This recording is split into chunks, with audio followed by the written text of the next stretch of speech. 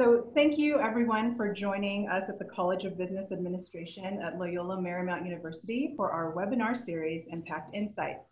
My name is Nola Wanta and I'm the Senior Director of Business Development and Strategy for the College of Business Administration. We're so pleased to have you join us as we discuss how businesses are navigating the changing landscape as a result of the COVID pandemic. Before I go on, um, I know there's a number of you that are starting to join us. But I do want to launch a poll, so hopefully as you come on, you'll be able to see our poll um, as it relates to our upcoming presentation with Professor Ensher and uh, Ms. Hodos. So I'm gonna go ahead and launch polling and as, um, as I go through and introduce our speakers, please do fill out the poll and it's gonna stay up for, for, you know, for those of you who are here and also for those who are coming in. So um, you know, we are dedicated at the College of Business Administrations to bringing you valuable insights and doing our part to create a stronger Los Angeles and beyond. This series is aligned with our mission to advance knowledge and develop business leaders with moral courage and creative confidence to be a force for good in the Los Angeles and global community.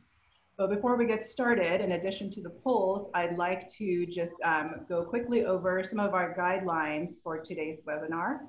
Um, so uh, as most of you can see, there should be a Q&A option there where you can type in your questions, which we will moderate um, at the end of the presentation. Uh, please use the chat window to post your comments only uh, for the panelists. Also, uh, at the end of the presentation, we'll leave some time for some interactive Q&A. So if you choose, raise your hand and we will unmute you. And just as a friendly reminder, this uh, webinar is being recorded and will be available later. So we are pleased to have our very own management professor, Ellen Ensher, and, and Hillary Hodos, founder of uh, HIL training, to talk to us about breaking up with bad breakouts. Um, I'm honored to introduce these two wonderful trailblazers who are paving the way and discussing how we can effectively use breakout rooms to deepen connections and learning in the virtual space. Uh, Professor Ensher is one of our management faculty who is an expert in mentoring. Uh, she is also a TED Talk speaker, LinkedIn, and a LinkedIn Learning author. Uh, she has also won numerous teaching awards, including the prestigious uh, LMU Professor of the Year Award, and she is highly sought after as a speaker in leadership. Um, Hillary Hodos is the founder of HIL Training, which focuses on using the basic tenets of improvisational theater to develop critical interpersonal and communication skills within organizations, which of course leads to more creative, inclusive, and engaged environments. She has spoken in many conferences and trainings. We were so happy to have Hillary and Professor Ensher here uh, to discuss strategies and how we can engage um, either our students, our employees, and so forth in using breakout rooms. So Ellen and Hillary, over to you. Okay, I'm just gonna share my screen here. Okay. All right. Well, thank you so much, Nola. Really appreciate it. And thank you everyone for joining us today. We're gonna be talking about a topic that's um, definitely near and dear to our hearts as we've been uh, working more and more with online breakout rooms. And we, uh, Ellen and I have been working on uh, tips to help improve your online breakout rooms. And we affectionately call it uh, breaking up with bad breakouts. So we want to make sure that those breakout room experiences are as, as positive and productive as possible. Um, as, uh, as we heard um, in our introduction, I'm the founder of Hill Training. I work with companies, uh, numerous companies on interpersonal and communication skills. And it's just a love of mine. And I'm so excited to share some of those techniques and how we can bring them to the breakout rooms. And Ellen, I'll let you introduce yourself. Thank you so much, Elizabeth. So as Nola already provided a warm introduction, I've been a professor at LMU for 23 years, and Elizabeth and I have partnered together over the years. In fact, um, this workshop is based on a forthcoming article, which will be published in Training Magazine in November. So if anyone would like an advance copy, please not to be shared, but if you, if this whets your appetite and you'd like an advance copy, we'll provide that to Nola as well. All right, Nola, next slide. I should just say, Nola, hit it. we'll go, we'll be like, Nola, hit it. Oh, perfect. So today in our overview, we're just gonna be going through exactly what are online breakout rooms, um, pitfalls that we've been finding as this becomes our new normal and part of our everyday work experience. What are things that we're finding? Um, preforming, getting started, and then we're going to look at the breakout rooms, going into some checklists and really practical things that you can take back, and then we'll jump into the Q&A. All right, and Nola, hit it. Next slide. Okay, so um, actually, Nola, do you have the results of the poll that we just took? I'd love to uh, see if we can publish them to everyone to see exactly um, how many of us uh, have actually used online breakout rooms. Yes, I am sharing the results now. Oh, great. Okay, so we've got some veterans in the room. I love this. This is fantastic. All right, so just a little background since you have used them, I'll be very brief about what they are because you are a little bit more familiar. Um, but essentially, online breakout rooms are allow the facilitator to dissect the larger group into smaller groups that and they are put into private rooms. So in these private rooms, um, participants can collaborate together um, if it's on assignments, if it's on a case study, if it's on any sort of training activity, or even just the general getting to know you. It allows you to have a more intimate space to have that happen. Um, you as the facilitator can jump into these different rooms. However, participants cannot jump into other rooms. Um, when they are ready to come back, they are able to go back into the main interface. Um, because we're using online breakout rooms more and more, um, we're starting to see some common uh, experiences, some varied experiences, and we are starting to find some of the pitfalls. And I'm going to turn it over Ellen to talk a little bit about the pitfalls that we're finding. So Nola, next slide. Thank you. So there's a saying that all research is me search. So the idea is a lot of times we start to write an article or do a webinar like this because it comes out of a, a place of pain and vulnerability. So when we did the pivot um, in March, of course, and when Elizabeth immediately started pivoting with her clients, she was working with a sales training organization of course, we were all seeking engagement, right? And one of the ways to engage is breakout rooms. Well, I have to say, it's quite different than doing a breakout room face to face. Face to face, we can use our superpowers of facilitation. We have the ability to read a room, hear one group, see another group simultaneously, make changes on the spot, read energy by glancing across the room. So there's a diminished ability to multitask and use your intuition. And I have to admit, in the beginning, when I started using breakout rooms, it would it was kind of like this sort of thing. Button, but oh, that worked. Oh, oh, thank God. I don't know what they're doing in there, but thank God they're off my screen. So that happened, and I knew we can do better. I can do better. We can all do better. And I thought if this is a pain point for Elizabeth and I, who are quite experienced, surely it's a pain point for others. Um, another aspect of the pitfall is the less control and accountability. So one of the things that I found with the breakout rooms is that people go into the breakout rooms and they would use that to take a break. Oh, it's a great time to go get some coffee or they would use that as a chance to complain, or they would just um, waste time. I, you know, a lot of times people get into a breakout room and they have that moment where they look at each other like a deer in the headlights and say, "What do we do? What'd she say? Uh, what are the instructions?" So that takes a while to sort out and then what what we both found working with clients and with students is just such a variable quality in the group reporting out so we'd come back we'd start our large group debrief and of course there would be the general shifting of you talk no you talk no you talk and then uh, once we figured out who was talking then the the quality and the and the tenor of the conversation was was quite inconsistent. So we decided, next slide, there's got to be a better way. And so our better way is to, is to add something we call preforming. So, so um, if you think for a moment about the origin of group or team development um, and think about our good old friend Tuckman from 1965, it's kind of one of those models that I think is is something that is fairly intuitive and most of us can recite by heart. Forming, storming, norming, performing, morning, adjourning. So there's things that groups do. And we were thinking about it and we realized, wow, there needs to be a pre-forming stage that goes on top of forming.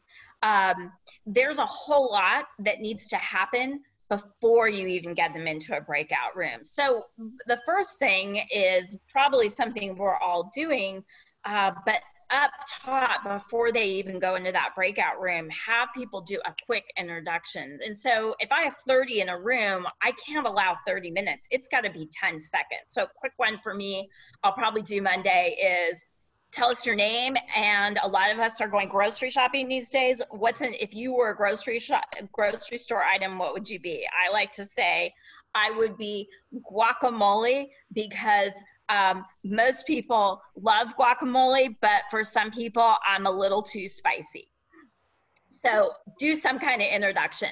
Then you want to you want to definitely do some more time on ground rules, having an upfront contract, just as Nola did in the beginning in terms of the ground rules. I'm going to go um, quite a bit deeper. I did some TikTok videos, be happy to share those, and those are all about norms and expectations for being in an online workshop.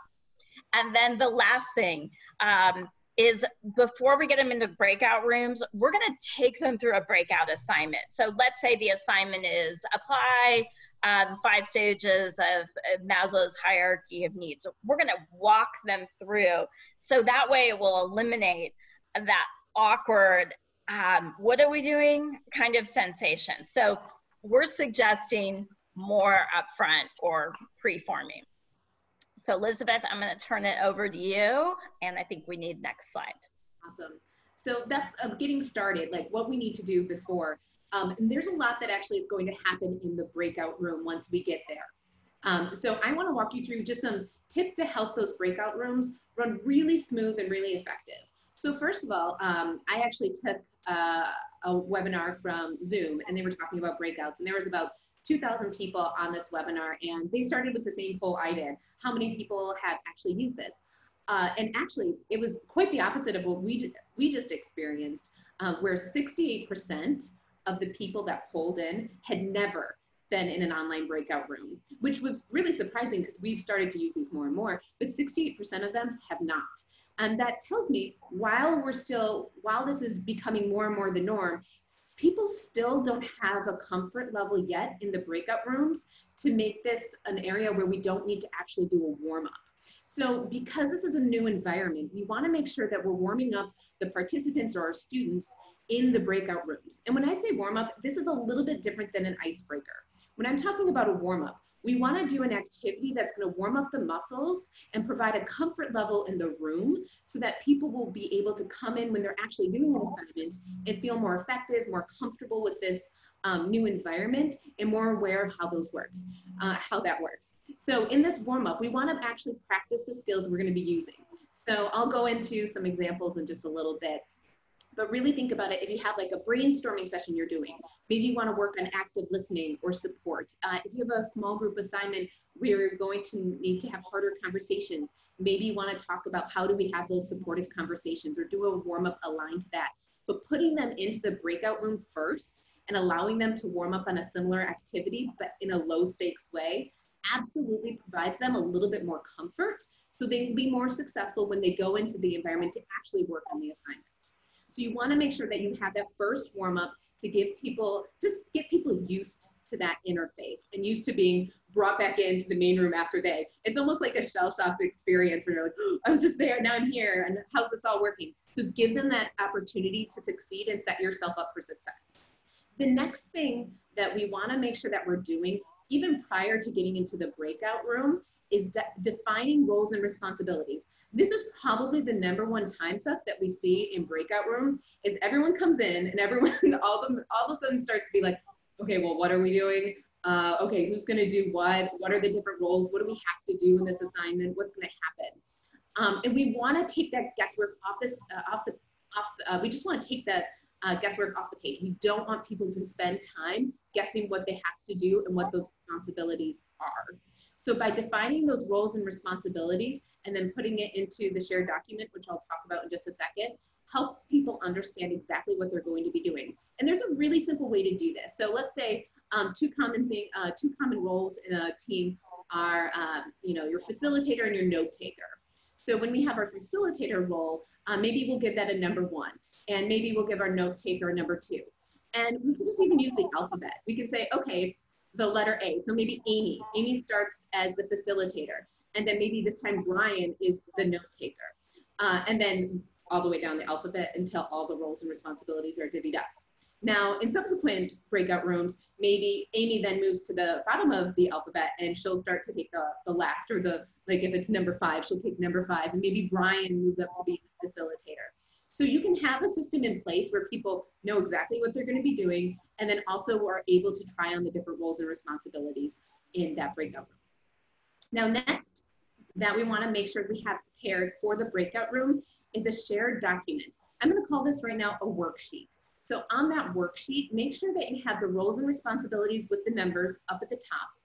And then a detailed outline of the instructions. I can't tell you how many times I've gone into a breakout room and everyone's like, wait a minute, what are we doing? And then everyone's like, I'm not so sure.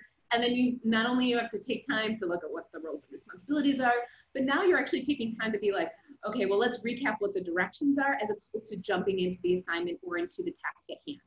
So you want to make sure you have both the roles and responsibilities outlined on that shared document and then detailed instructions. And then a, if it's um, anything they need to fill out, so if it's a chart, a table, whatever they're going to be working on, have that on that document or on that worksheet so that they can easily fill and follow that flow. That way you're going to have each group have a, have a more effective report out and you'll, you'll level up with that consistency.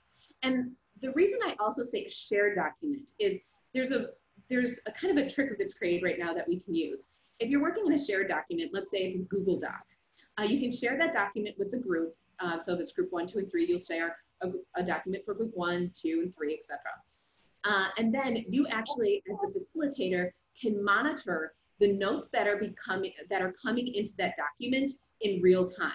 So if someone in group one is you know, not taking notes or it's very minimal notes and it seems to be taking them a while while group two is just like knocking it out of the park. They're getting started, they're writing everything. You can then monitor. So if you think about it in the in-person experience, you can kind of hover and see what groups are struggling or which ones are doing well, um, and you correct quickly. This is the way we can do this in the online breakout room through the shared document.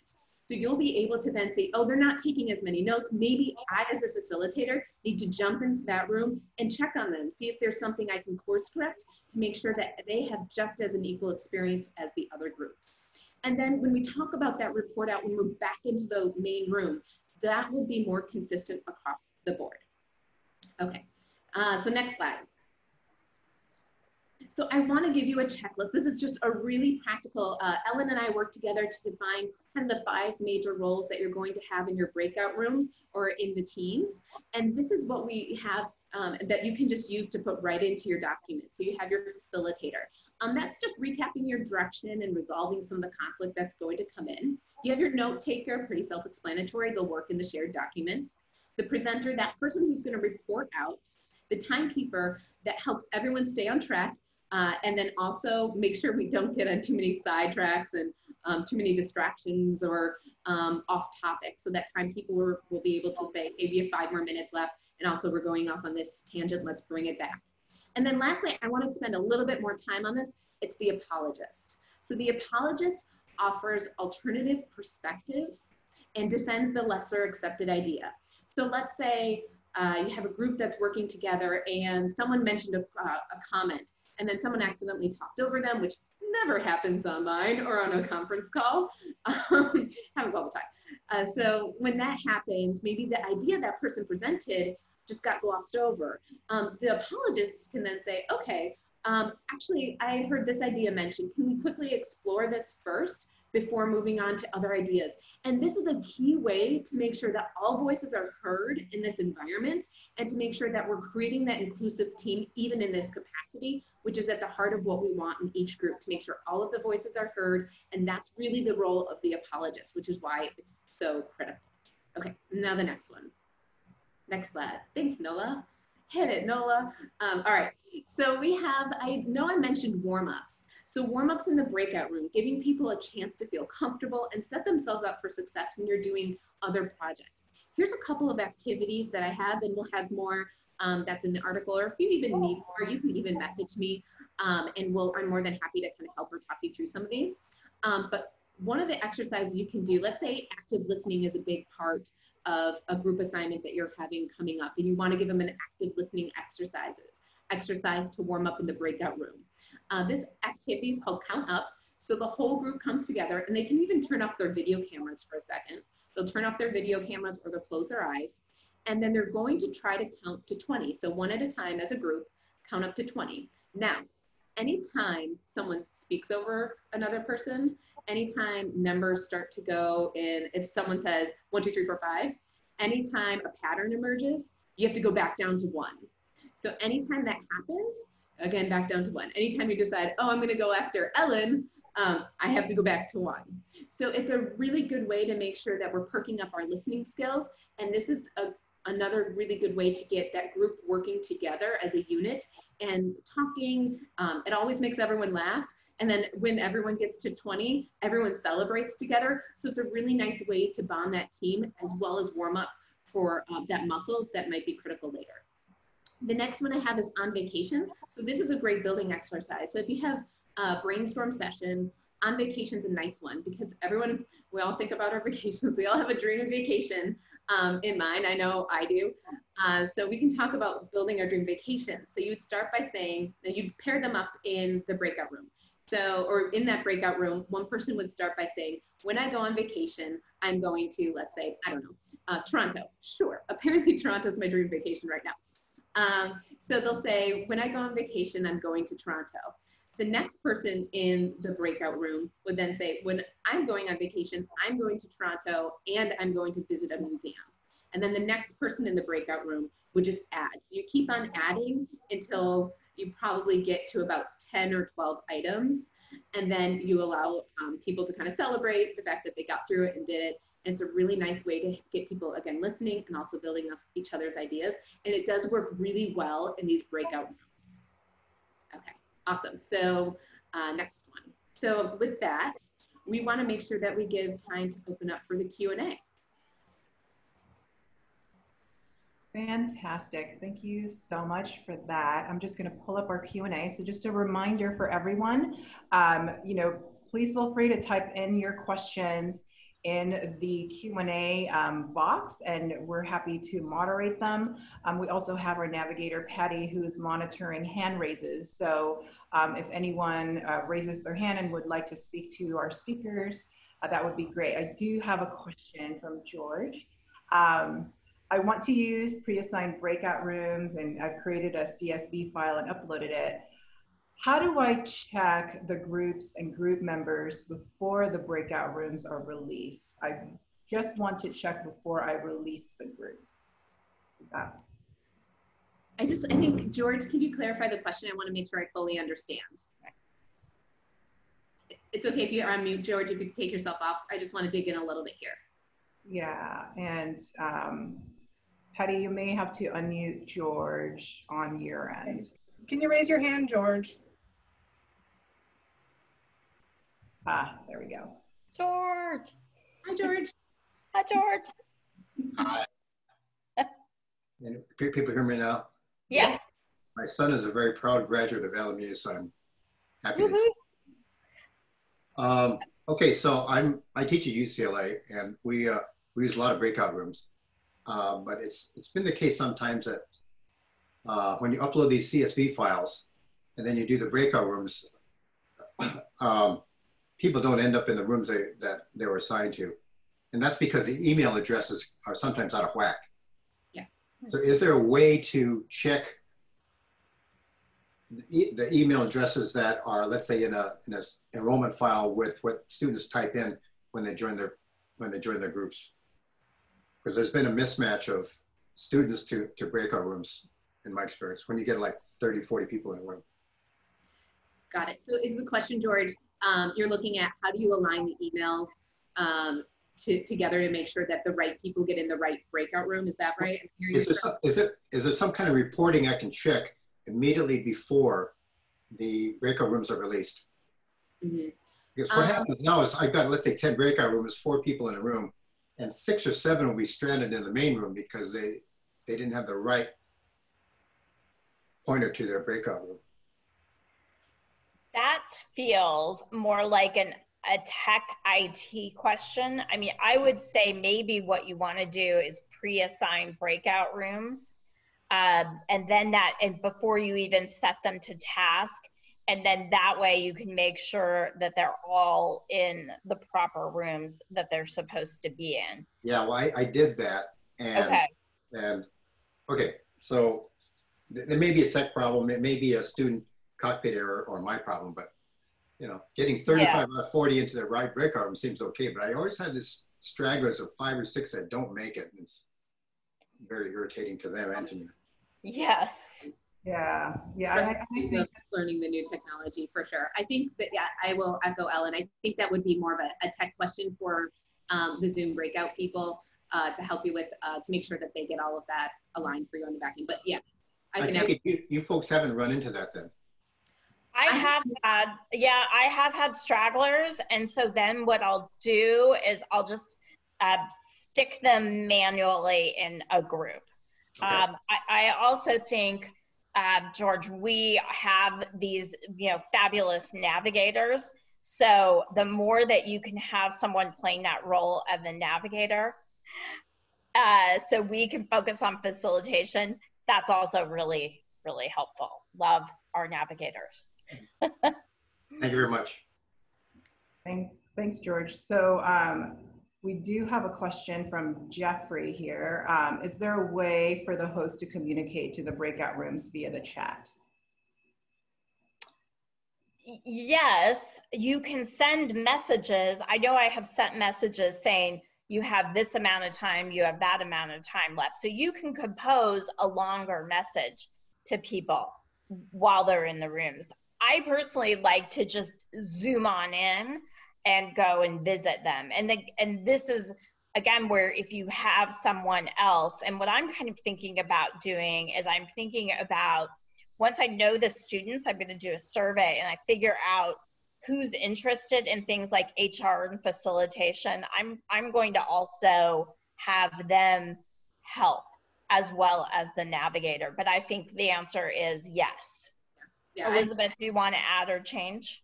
Um, yes, no, you can. You can absolutely send a note to all of the groups. Uh, I think it's, uh, if I'm remembering correctly off the top of my head, I think it's like to all participants. Um, and then you'll be able to send out a longer message. I've done that uh, just to like do quick reminders. So hey, remind remind you to make sure you're getting capturing this and this information. So you can absolutely do that. Um, I also have done the same thing as Ellen. I'll jump into the rooms just to check on people as well, or echo a message um, if I need it, especially if I'm working or seeing in the shared document uh, that, you know, maybe a group is off track a little bit. That tells me like, oh, I'm going to go into that room. Or if I'm seeing it across the board, I'll also use that shared document to do a quick memo to everyone to say, hey, this is happening. Yeah, shared document is key. Yeah, for sure. Great. Um, so we do have a question from our dean, Dale. Um, we are all becoming familiar with Zoom fatigue. Do you see breakout rooms fatigue as a thing? Um, and if so, what strategies can be used to continue to engage so that breakouts don't become just some same old, same old routinized, adding to fatigue? We want this to keep this continuously engaging and exciting. Right. So that is a great question. So I would say, first of all, one thing I realized that we forgot to say is before you send people into breakout rooms, give them a little break because chances are they're going to take a break anyway once they get there. So I think the best thing to do is say, we're going to take a break, we're going to come back, then go into breakout rooms. The other thing, I've been attending all sorts of sessions this summer, is have them do something physical. So I had a facilitator who had us walk around the room and touch walls, um, pick up something on your desk and hold it up, or even just leading a quick stretch um, as well. So I think I think you're right. It's like it's a tool like anything else. So we have to keep surprising them. Uh, one thing I'm going to do this semester is I did a post on LinkedIn and I asked people to come in and be Zoom bombers for me. So I have a whole roster of professionals. So one, for example, I'm going to have a friend who's a works at Postmates corporate, and the doorbell's going to ring. ding dong. I go, oh, you guys, my Postmates is here.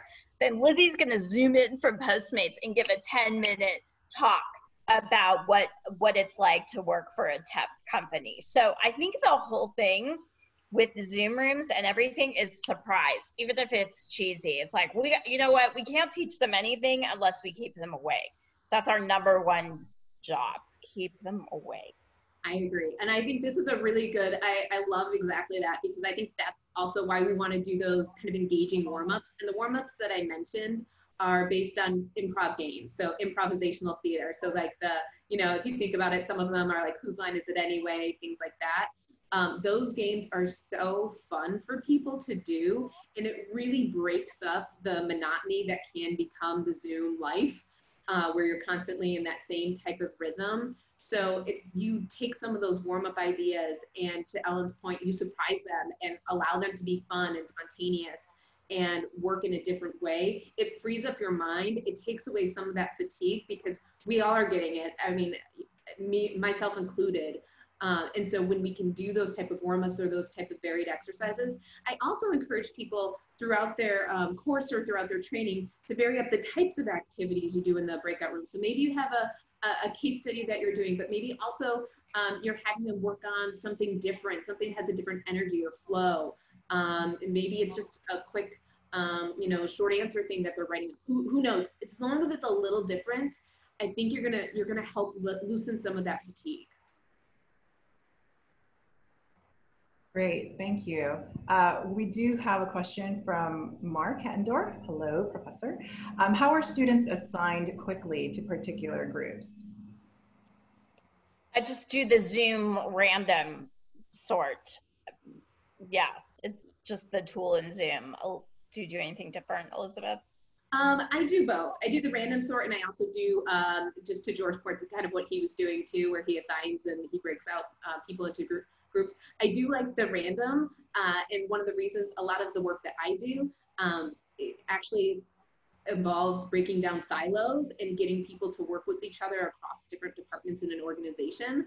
Um, but even students in the classroom, I think it's really important for people to break down some of those silos. So being able to randomly put people in groups um, is really an exciting way to um, meet more of the people in your classroom and have more of a shared experience um, and make this uh, uh, and really make this uh, environment come alive. So I, I, do both, and I think it just depends on your use case.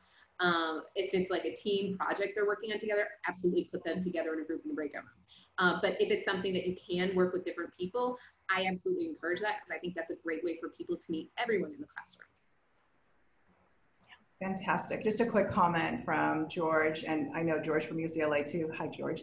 Um, he says, if I may, um, I address Zoom fatigue with competitions and polling with Poll Everywhere, which is now available at LMU as well, and not Zoom polling, and it works great. Yes, it's very true. And so we do have a question from Lynn. Um, my question is about the use of the shared document as a hovering device. With so many groups contributing simultaneously to the shared document, I find that the document can become unwieldy? Do you advise setting up the shared document in a particular way to organize contributions, or do you suggest providing a blank document for more free thinking? Yeah, so I absolutely am more prescriptive with my shared document because that's exactly the problem. It, it can get unwieldy and there's a lot of input coming in. So it does become a muscle you get a little bit used to after a while. It's like, okay, um, I have a lot of input that I'm receiving and you know, I want to spend time on here, but I, am more cursory with it. I use it as just a check in to see if there's anywhere I need to jump into um, and problem solve versus um, really diving deep to the content they're discussing. And honestly, it's just because of the time constraints that we had. I would love to go deeper into the document, but I don't have that. So I'm very prescriptive. If it's, um, if they're working on an activity, uh, let's say for if it's you know outlining Maslow's hierarchy and they're working together in a group outlining different parts of that, uh, you know I would absolutely put everything that you want them to discuss and like every part that you want them to fill out prescriptive on that sheet. Now there is another use case for this. Let's say if it is a creative problem solving or if it's a brainstorming session, um, which I do a lot with my clients I will absolutely give them free reign. I will give them a topic. I will give them bullets that they'll probably want to hit, but then I will give them that document to be more free with. I think it really does depend. I, well, let me say this. I do err on the side of more caution and giving them more prescriptive um, outlines because I think you have better and more consistent results. But if it is a brainstorming session or something that requires more creative thinking or more, um, you know, more loose thinking, I, you could just you could just give them a blank document. Ellen, anything to add to that? No, I, I think I was just thinking though, I was just reflecting on a morning this morning. Um, I was at a meeting, all faculty, and we're very collegial, but I was thinking if there was one takeaway from this was the pre-assigning roles and responsibilities because uh, we had a you know, we uh, did a lot of hot potato like Colin you speak no Ellen you speak who's taking notes? I don't want to take notes. Maybe you could take notes. And I was internally laughing, thinking how much time even those of us who do this for a living spend. So I think if there was one takeaway, pre assigning those roles, and then what a wonderful thing this is going to be because we're all going to get a lot more skilled at the various roles. And, you know, some are going to stretch people out of their comfort zone because it's not something they're used to. They're, they're, it's, it's a way of being in a group that they haven't done before necessarily. Yeah, I love that point, Ellen. I, absolutely want to add on to that point too. And I think that's why when we talk about the upfront contract um, at the top of uh, our class or training session, whatever that may be, um, making sure that everyone has that accepted roles of behavior, not to judge someone who's trying something new, um, and to make sure we're supporting each other because to Ellen's point, we're going to be trying on different roles. We're going to be in this together. This is absolutely a newer um, feature that we're all working with and allowing people to have a safe space experience and try new things, I think is critical. Right. Um, and I, you know, I'm sorry, I, I, love, I wish I could see people, but I also just think that we are in a time in our country where it's so hard for people to even know the rules of engagement for civil discourse. So this gives them, and, and yet that's a skill that we need, especially in education. We have to talk about things that are difficult or how will we learn. So I think um, giving them those roles and really digging in, I think it's really comes down to spending more time on process than maybe we have before. Absolutely. And, and thank you for that. And, and please, just a reminder to everyone to type in your questions as they come to you and we'll, you know, continue the conversation. Um, I do have a question, uh, just, and maybe I may have missed this and I apologize, but in terms of roles and responsibilities, is it the, the team within the team that, or the breakout that they choose the roles or is that pre-assigned already? So it's pre-assigned pre-assigned. So what we were in, what we were thinking about, um, and we've done is we give them, we assign each role a number. And then once they get in the group, it's not a choice. I'm going to be the facilitator, I'm going to be a scribe. It's what letter of the alphabet does your name start with? So we've got Amy, Abel, Atticus, that that's how we choose. So eh, the first one's a one, two, three, four, five. And then, you know, let's say we do a second breakout room, we can rotate it. Um, so there's no choosing, I mean, you know, and probably as I'm thinking about it, one of the rules maybe is, you know, no swapping. You know, you get what you get. You get what you get. You don't get upset. Yeah. Okay, I've been fixing far too many dinners for teenagers. You're getting. I love it. I think it's true because, uh, and to uh, you know, Ellen, to your earlier point, one of the pitfalls that we were, we're talking about is really that just wasted time. And I mean, and to your point earlier, when even in the faculty meeting, you're like, oh, who's taking notes? Who's doing? And we still do that, and it's really, um, it's really funny because then we look at it and we're like, oh, okay, well, we we know we can um, have a better system, and it's a little bit different um, from you know everyone kind of sitting together and you know being able to um, read body language or you know in that room where you can kind of help them navigate assigning roles we just don't have the time and the luxury. We do have to be more procedural when we're in these kind of breakout rooms to make them really run smoothly. So there is a lot more work on the front end to do that. And by taking that roles and responsibilities, um, you know, and just making it really concrete, you're going to save yourself a lot of headache and a lot of discussion time that's not spent in the ideal way. Great, thank you. And actually, Rachel has a question and she read my mind. Do you recommend visiting breakout rooms to check in with the groups? If so, how do you do that without interrupt, interrupting the student conversation? If students are not talking as much, what is a good way to facilitate discussion in a breakout room? Yes, I definitely recommend just as if it was a real situation, I would walk the room, I would hover at the corners of groups. So I like to remind people that I am going to zoom in. And I think I just use humor because it is a little weird. So I I usually do like a whoosh. Um, you know, like, I, look, I was just transported into your room. How's it going? So, uh, it, just as a hi, how are you? And then I try to just shut my mouth. I don't want them necessarily to catch me up. Um, but I, I definitely give them a little warning, like, I'm here, I just arrived, and it, it is kind of weird and funny. Uh, so I try to acknowledge that, but 100% z- zoom in and go visit them. Um, and again, you know, thinking logistically, that's why it's important to do that break ahead of time because we as facilitators, like, we need breaks. We need to be able to catch our breath too. And I think that was a lesson I learned um, from last year is I would just go and go and go. And then sometimes once they got into breakout rooms, I was like, oh, thank goodness. So I building in that break before crucial. Yeah, I love that. I think this is, I think that's absolutely critical to build in that break. Um, and also when you're, when people are hesitant to participate, there's a lot of things that I do um, to make sure I can help get that participation going. One, um, I, you know, always back to that upfront contract, you are not being judged.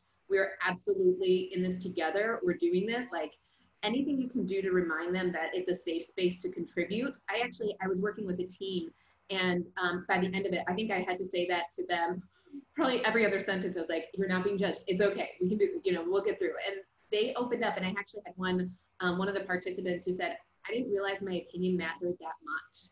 And I, I just didn't think it, I should share it. And it was such like, oh, that hit me. And just hearing that, knowing that I've reiterated that how safe of an environment this is to make it a place where they can contribute is critical. I think that's absolutely one of the things you want to do and say and say again and say again and say again because you'll see people open up that normally wouldn't open up. The second thing I would always recommend is to, to definitely get that warm up going. Um, make it a non stakes warm up in your first breakout room. So it kind of gets away some of those inhibitions. Like if you're counting to 20 and you're messing up and it's perfect that you're messing up because everyone's going to, and then you celebrate it together, it gets people talking a little bit out of their head because we all get in our head and like, what's the right answer? What's the wrong answer? I'm going to be right. I'm going to be wrong. Or I'm going to make a fool of myself.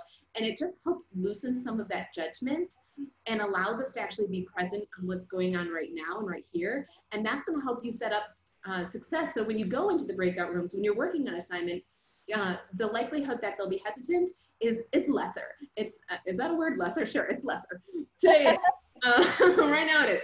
Um, but it really does make them feel a little bit more comfortable. Now, if you get into the room and they're still not participating, um, I always have uh, prepared questions that I can ask to get the conversation started. So I'll, you know, I'll say, hey, we're gonna round, round robin this. So if you're not familiar with round robin, everyone's gonna take a turn. Um, there's no silly responses. Here's a question, you know, quick one word answers they can do. Um, but uh, just have a bank of questions handy in my, in my backpack and in my arsenal to make sure that if that does happen, if they are truly stuck, I can get that conversation going through good questioning and make sure that everyone has a chance to participate. So, so those are just a couple of techniques that I use when the conversation feels stilted. Wonderful. And I think your last comment ties into this next question. Um, any suggestions for making for making sure quieter people are engaged and participate in the breakout assignment? I missed part of that. Any suggestions for making sure quieter people um, are engaged and participate in the breakout assignment? Yes. Yeah. I, I personally am a firm believer in round robin, and I think that's actually a role that the facilitator can really play. Um, so everyone has a chance to go before um, someone else can share. Um, I've used this techniques in, in, this technique in training, and when I say it absolutely works, and even the I'll, I'll reference the count up exercise. In the count up exercise, what ends up happening in the exercises exercise is you you have this kind of this next level awareness. They're like, oh, Ellen hasn't contributed in a minute. She's probably going to go next. I'm not going to say anything because she's going to go next. And I'm going to hold back until she goes because I can be aware that that's not happening, uh, that she hasn't participated.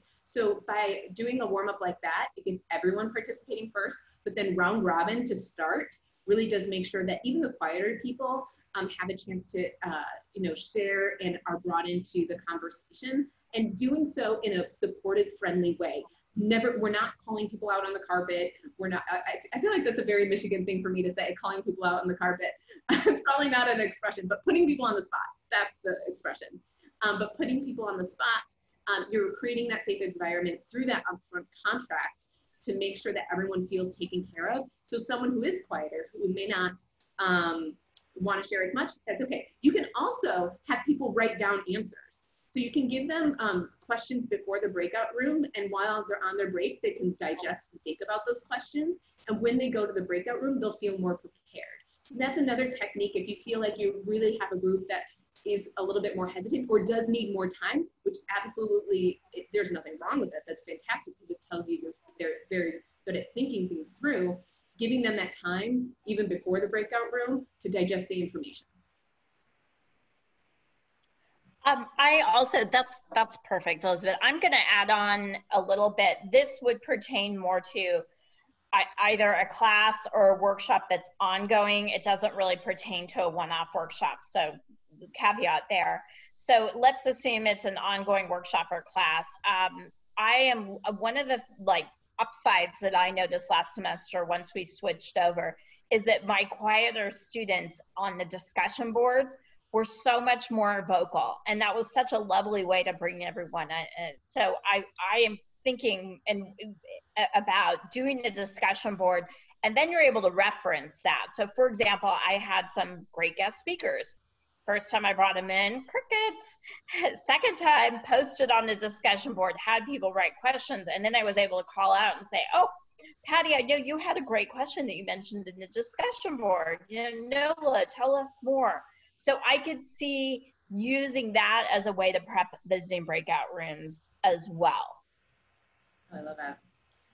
I'm stealing that, Ellen. I love that. Go for it. Um, again, everyone, please feel free to type in your questions. Um, so I, I, do have one other question because um, I'm experiencing this as well as we plan for our graduate orientation, which is happening on Friday and Saturday. So pre-planning, as you're mentioning, um, is, is really, really important. Can the both of you tell us about a situation where you know you, you thought you had everything planned out for the break rooms and so forth yeah. went completely unexpectedly either positively or negatively. Um, yeah about a time that that you know you pre you thought you pre-planned so well but x. So. Gosh there's so many.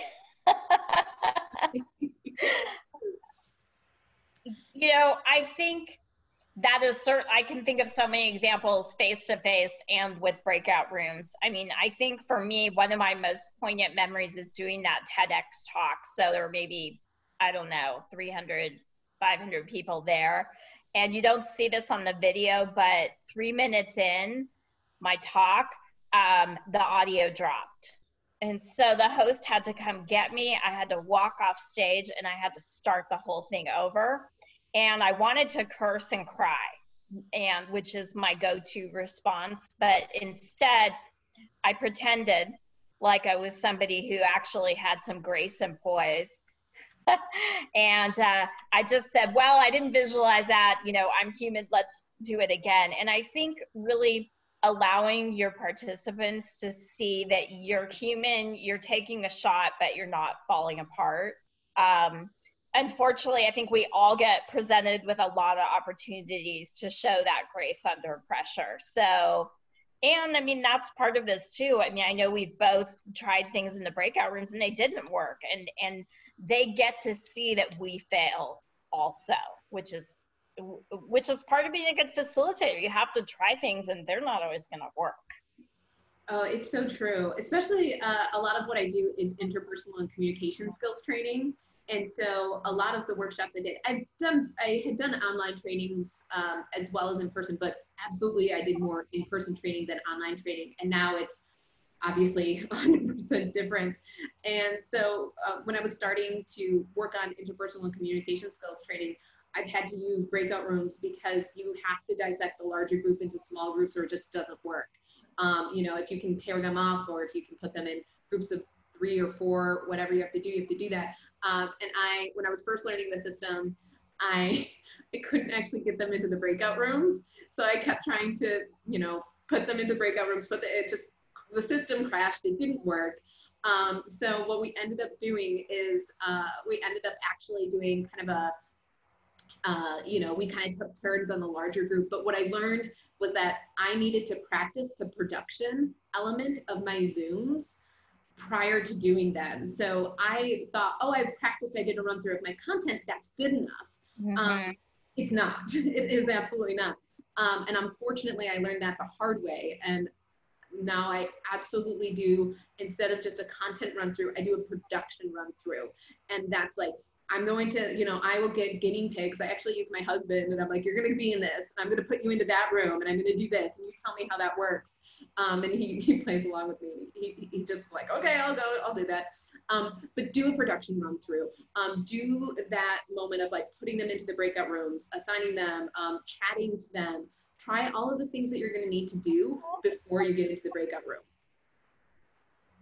That's wonderful, and that's exactly what we'll be doing in, over the next few days. Um, another question for George: Do you find that recording Zoom sessions will inhibit participation?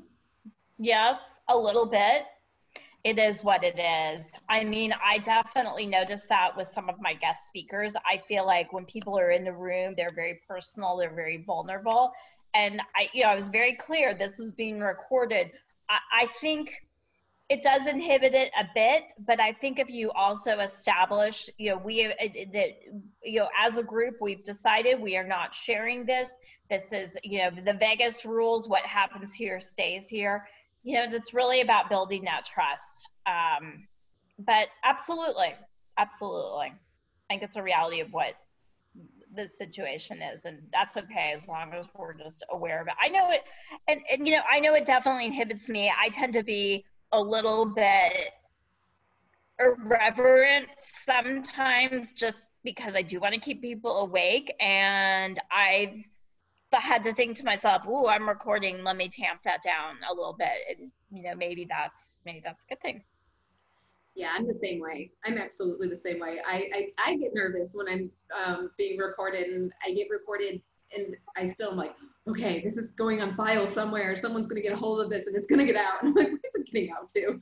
It's fine. But it is, it is a little bit of a different beast when you are being recorded. There, there is a wall that kind of starts to go up. And I think it's um, depending on your use case for recording, um, I try to use it as minimally as possible uh, just to make sure that people are comfortable and that no one gets that wall or doesn't want to contribute because they're afraid of maybe having a record of something not going right.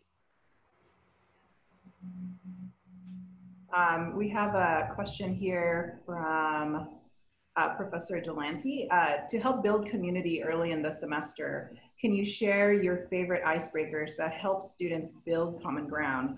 I'm looking for fun things or even controversial that might address personal, work, or school experiences, or current events like COVID, demonstrations, music, fashion. Um, I like I like your idea of build an, an ideal vacation exercise, but do you have any other favorite icebreakers that you could share? I do. Oh my gosh. Um, it's like, oh, there's, I mean, there's so many. Um, I love that you said controversial, and I've got a controversial one. Ellen, dare I? I'll do a controversial one. Do it, do it. Um, Wait, are we being recorded?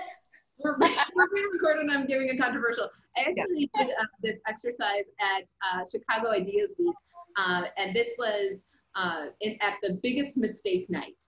And so they brought me in to do an exercise uh, with the whole group. I think I think there were like three or four hundred people in the room, and uh, they wanted me to come in and do an exercise with everyone around a biggest mistake.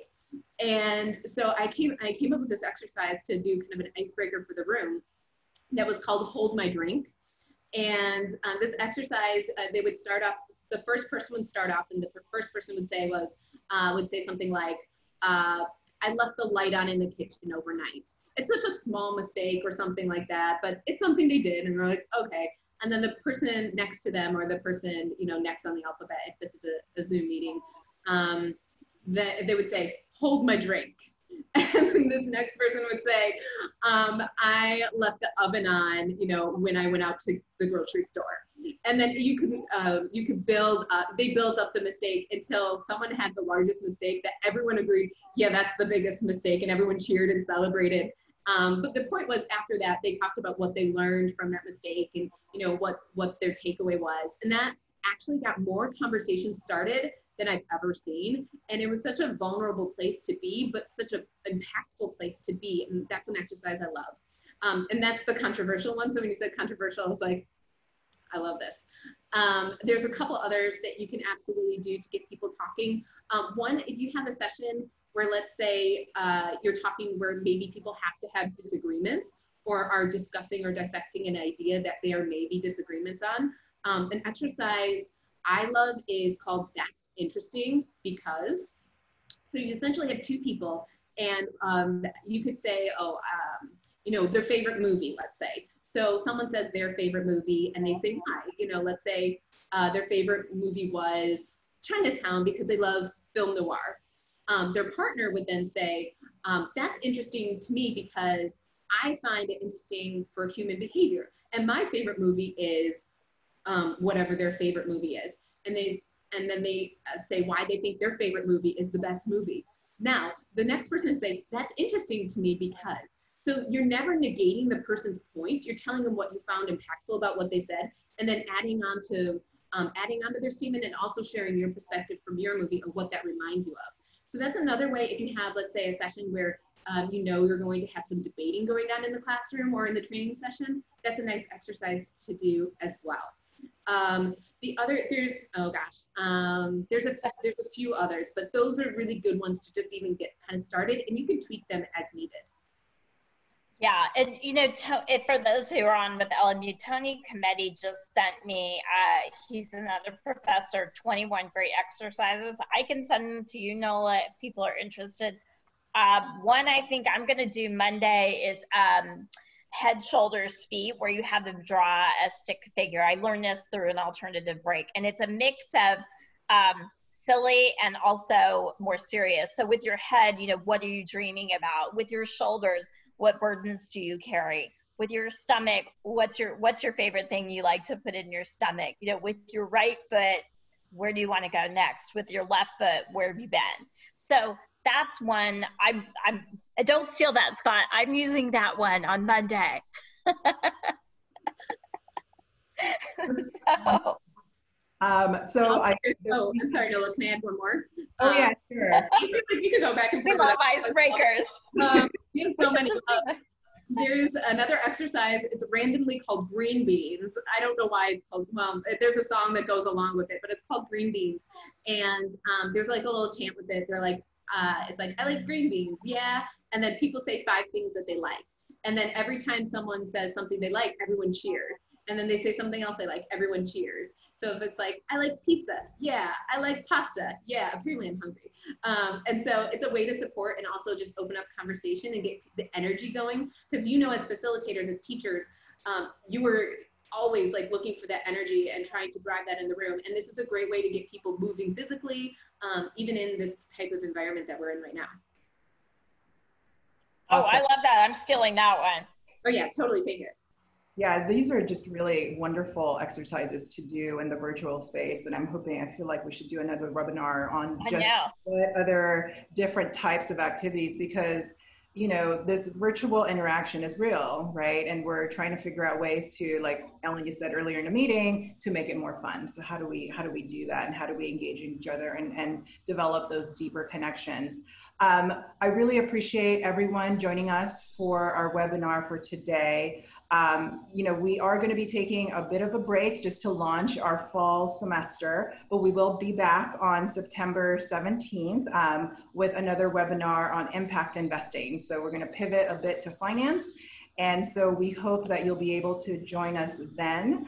Uh, but otherwise, thank you again, everyone, for joining us for our, our webinar for today and for joining LMU. So have a great rest of your day. And thank you, everyone. And thank you to our speakers, Professor Ensher and Elizabeth. So wonderful.